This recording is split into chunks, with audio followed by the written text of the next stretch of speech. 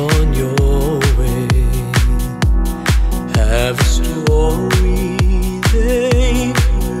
tell.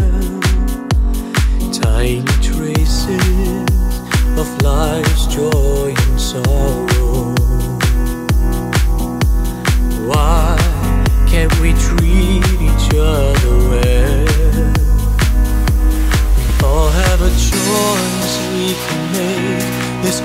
It's a choice we can make to help and to heal in different ways.